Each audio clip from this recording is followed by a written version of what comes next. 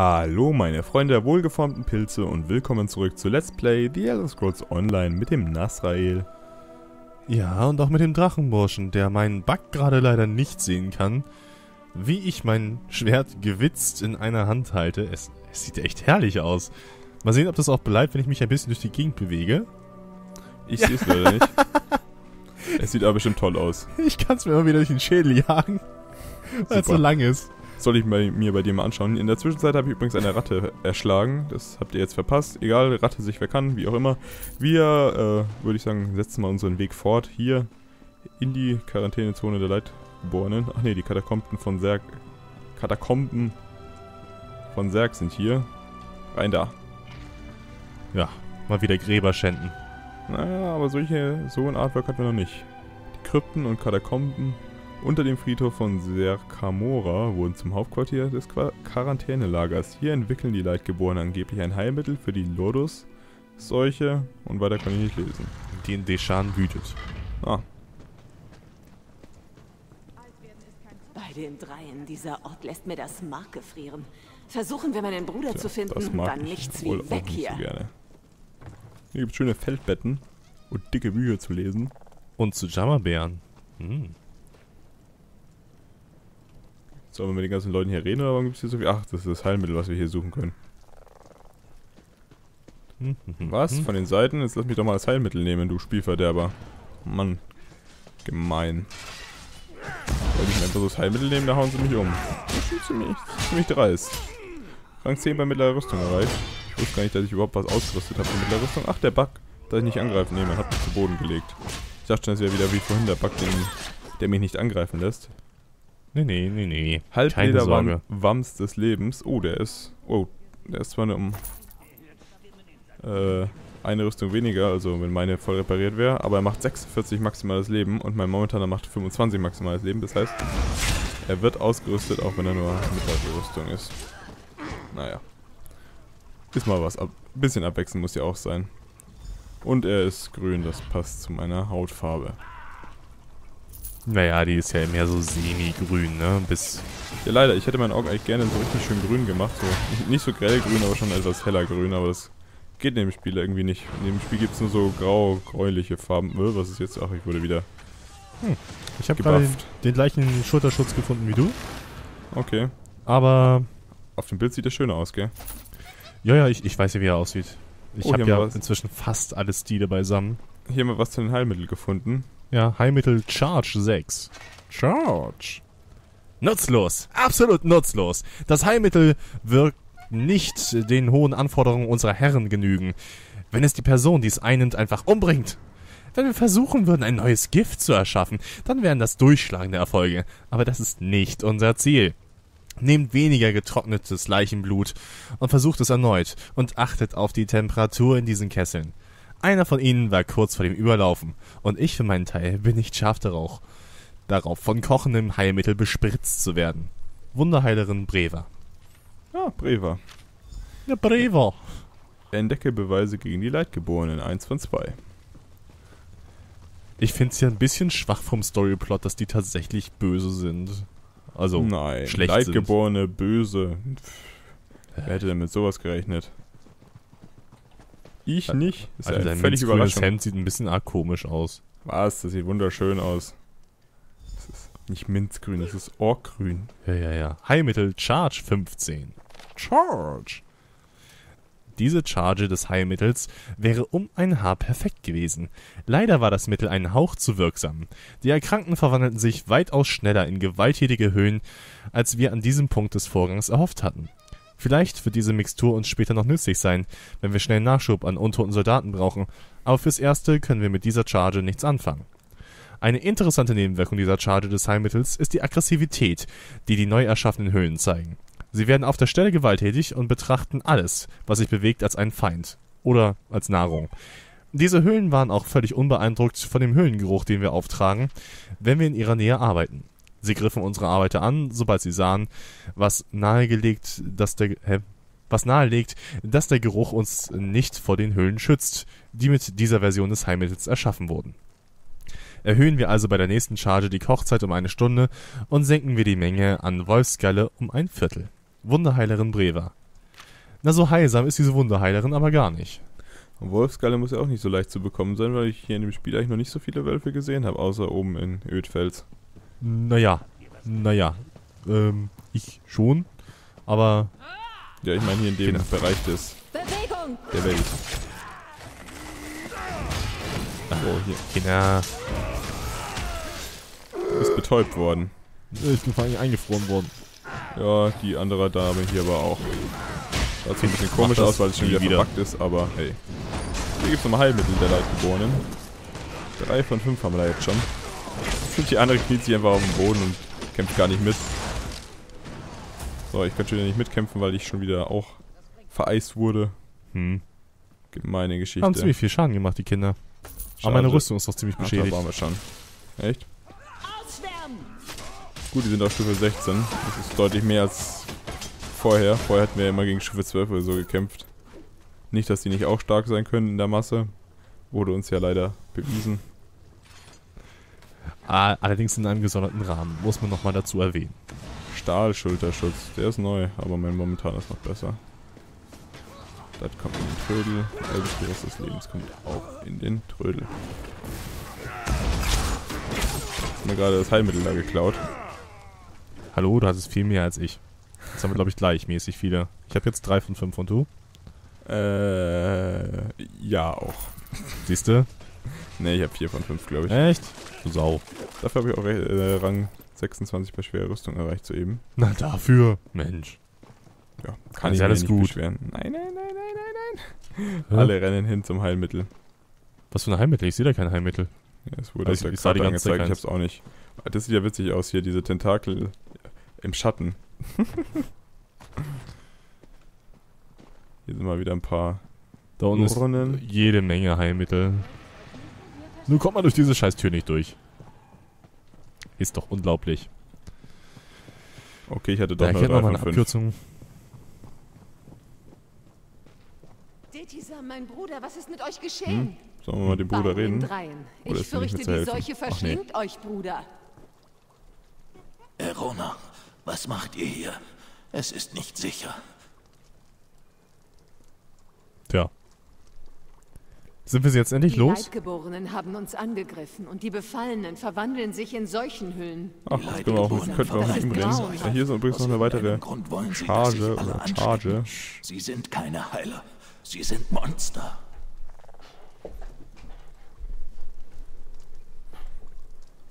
So. Wurde abgischt. Ja. Gemein. Willst du die auch noch lesen oder? Ja, warum nicht? Wenn wir schon mal dabei sind. Die Charge 19. Ah, endlich. Perfektion. Die letzte Charge Heilmittel beginnt die Erkrankung, führt die Seuche in angemessener Geschwindigkeit fort und verwandelt den Erkrankten dann in 70 von 100 Fällen in eine Seuchehülle. Jetzt haben wir eine überragende Variante der Seuche und eine effektive Möglichkeit, sie zu verbreiten. Natürlich kann es ein langsamer Prozess sein, die Heilmittel zu verteilen, besonders in größeren Dörfern und Städten. Bevor wir unseren Einsatz in Gramfeste beginnen, brauchen wir eine schnelle Methode, die Seuche zu verbreiten. Aber das ist im Moment nicht meine Aufgabe.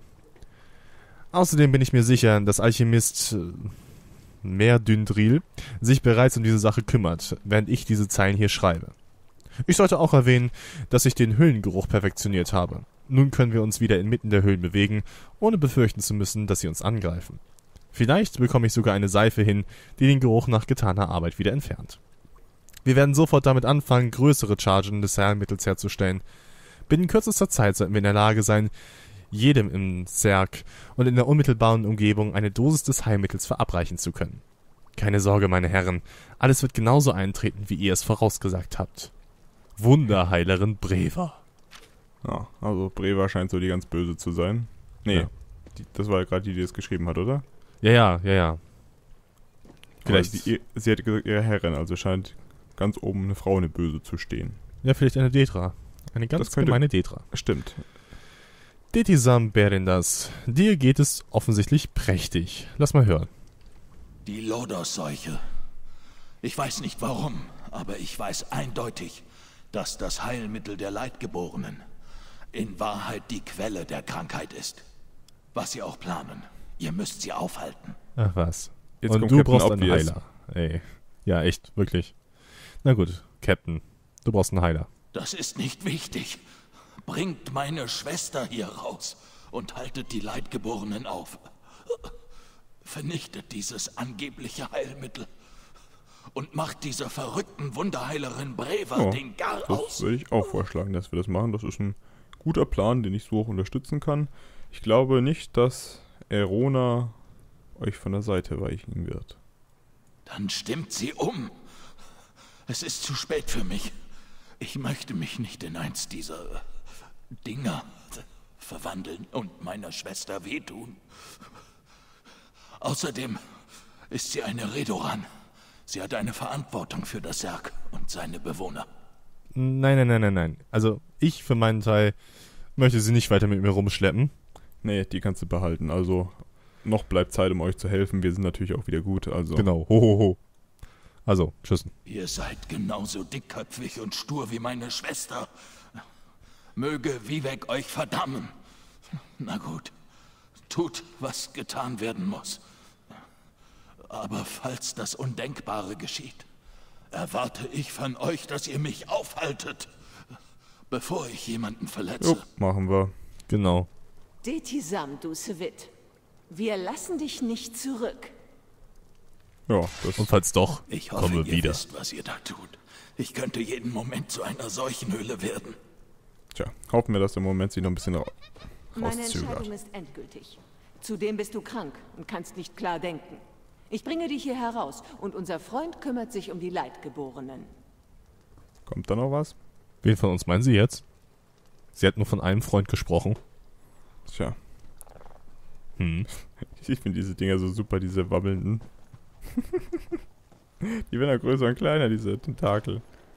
Echt klasse, wer sich die ausgedacht hat.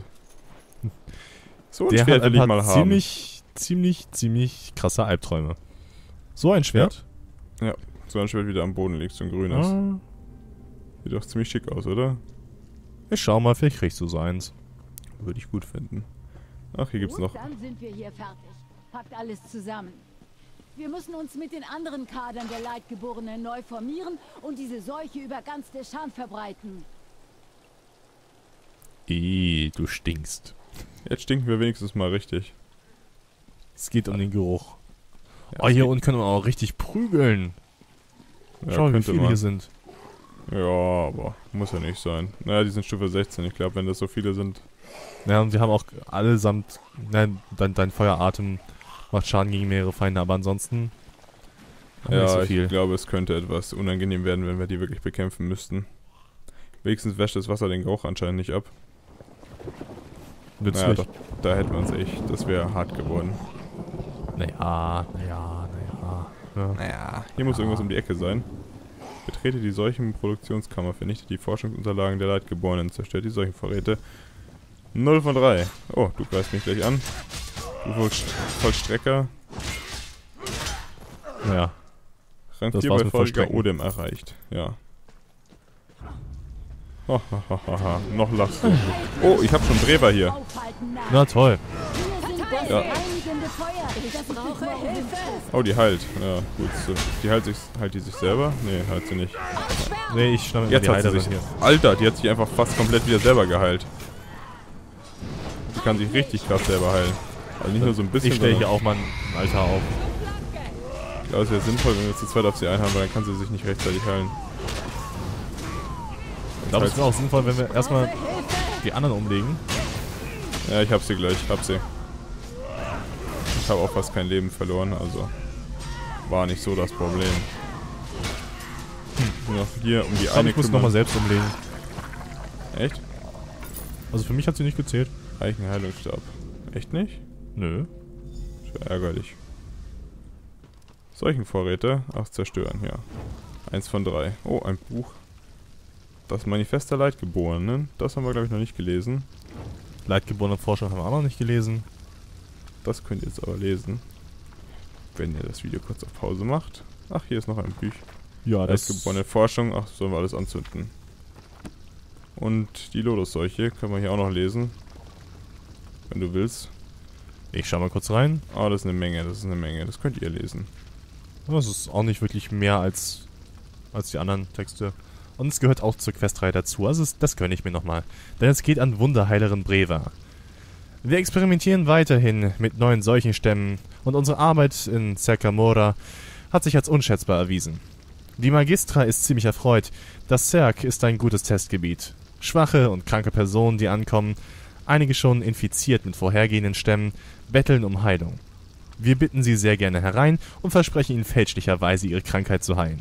Selbst die Häuser Redoran und Klalu sind überzeugt, dass wir hier sind, um zu helfen. Sie wollen es so sehr glauben. Die Seuche selbst ist sehr stark geworden. Leider ist die Überlebensdauer kürzer als gedacht. Wenn wir einen Warnausbruch verursachen wollen, einen, der eine ganze Stadt ausmerzen könnte, müssen wir die Magie weiterhin stärken und testen. Als nächsten Schritt werden wir die Stufe der Experimente anheben. Es gibt Gerüchte, dass einer aus unserem Kader schon die reinste Form der Krankheit hervorgebracht hat. Ich, wart, ich erwarte gespannt diese Lieferung. Eine größere Siedlung wird für das nächste Experiment ausreichen. Ich empfehle Nasis. Die Narren der Hlalu werden nie etwas vermuten. Ich muss meine dortigen Kontakte informieren, damit sie sich vorbereiten können. Alchemist Merdündril. Ah. Ich bin übrigens der Ork, der in Flammen stand. Wenn du mich siehst. Ja, ich sehe dich. Und ich sehe auch den Khajiit, der dich nochmal ein bisschen anfeuert. Ja. Stimmung hier, Stimmung hier, eindeutig. Gute Stimmung. Da fallen. Ach, ach sie ist wieder da. Nee, das ist so nee. der Heiler. Hier wird nicht mal Wunder geheilt. Aber Lustig. hey, die ist auch stark. Naja. Ist nicht. Also, Ah, sie, sie war ein Boss. Ach, die Quieksuppe habe ich jetzt auch bekommen. Gegen falsche Götter. Fürchtet keine falschen Götter. Moment, ich will erstmal gucken, wie lange das ist. Na, gut geht. Fürchtet keine falschen Götter. Denn ihre alleinige Gegenwart ist eine Lüge. Gestohlene Macht von unverdienten Artefakten. Sie werden von hirnlosem... Okay, ich werde aus der Wand heraus, also aus der Tür heraus beschossen, deswegen kann ich nicht weiterlesen. Aber ihr könnt es ja vielleicht lesen, wenn ihr wollt. Jo. Müssen wir gleich rein in die Tür? Nee, oder? Die Tür ist verschlossen. Deswegen Äh. geht das gar nicht. Aber wir müssen ja in die Tür rein, oder? Ja. Nee, nicht, Ich wurde noch oder? nie von der Tür beschossen. Finde ich unfair. Sehr gemein. Nach, nach Deschan kommen wir hier wieder. Hast du eigentlich irgendwas bekommen für, für Breva? Ich glaube nicht. Keine Auszeichnung, keine Questerfüllung oder sowas? Nein? Äh, doch, ich habe eine neue. Warte mal. Die Geheimformel sprecht mit Nili. Nilien Lor. Ah, die haben alle so blöde Namen. Ja, die, die habe ich aber auch. Können die nicht einfach Uruk heißen oder so? Oder Boris. Or oder Boris. Einfach so schöne Ork-Namen. Bittere Medizin. Sprecht mit Erona. Äh. Nee, also da drin habe ich auf jeden Fall nichts mehr zu tun. Ich habe fertig hier. Ja, ich auch. Glaube ich. Müsste eigentlich, ja. Wo gehen wir dann hin? Hier als nächstes, oder? Das ist, glaube ich, das nächste gerade. Ecke ist eigentlich... Hier ist äh, Nilin Chlor. Warte, bin da. So, reden wir mit ihr. Konntet ihr eine Probe vom Heilmittel der Leidgeborenen an euch bringen? Ich bin wirklich neugierig, woraus das Elixier besteht. Ja, haben wir an uns bringen können, aber wir sind uns ziemlich sicher, dass dieses Elixier gar nicht wirklich heilt, sondern eher das Gegenteil macht. Ich habe die Einheimischen im Auge behalten, denen dieses Heilmittel verabreicht wurde, und bin zum gleichen Schluss gelangt. Doch ich werde erst Gewissheit haben, sobald ich das Elixier analysiert habe. Nehmt das. Es ist zwar nicht viel, aber ich bin mir sicher, dass ihr dort drin auch nicht allzu viele Schwierigkeiten hattet. Es ist 2x42, also... Ist schon okay. Schließen wir die Quest ab. Danke für eure Hilfe. Entschuldigt mich, ich muss noch etwas alchemistischen Zauber vollbringen. Boah, wie, wie aggressiv das klang. Richtig gut. Richtig gut. So total unpassend. Danke für eure Hilfe. Blödmänner. Blöd, Orks. So, solchen Leuten hilft man doch gerne. Echt? Wahnsinn. Und dann gibt sie 84 Gold raus. ja, ist ein und, Buch. Und ein Ultraleck hat sie auch noch für mich übrig. Das Jahr 2920, Band 2. Schien Wo ein langes das Jahr zu sein. Wo, wo, wo? Hier um die Ecke. Ja, in so einem Jahr passiert natürlich viel. Ja, ja. Ihr könnt das auch alles natürlich lesen, wie immer. Und dann gehen wir auch gleich zur nächsten Quest, oder? Zu Erona. Dann Ins Haus der nix. Familie Veroba. Ja. Weiß ich, wie es ihrem Bruder geht? Ah. erst einen Khajiit im Gesicht und dann dich im Gesicht. Tja, Im Sichtfeld. Der es geht ihm offensichtlich blendend. Naja, er lebt immerhin noch und ist noch nicht so, so einer komischen Hülle geworden. Also, Ja, ich denke, doch. das ist besser, als er es vielleicht selber erwartet hätte. Na gut, Erona. Wie geht's deinem Bruder? Ich bin froh, dass ihr es auch aus der Quarantäne geschafft habt. Hat man sich um diese Halunken von Leitgeborenen gekümmert? Ja, ja, also die Leitgeborenen sind tot. Zumindest hier in Zerg. Wie geht es eurem Bruder? Nicht gut. Alchemistin Nilün glaubt wohl, sie wäre so etwas wie eine Heilerin. Und sie hat Detisam und die anderen Erkrankten versorgt. Hoffentlich entwickelt sie bald eine Behandlungsmethode für sie. Ja, wär das gut. wäre gut. Kommt sie denn voran? Ein wenig. Zumindest wirkt Hm. sie zuversichtlich. Aber was verstehe ich schon von Tränken und Elixieren?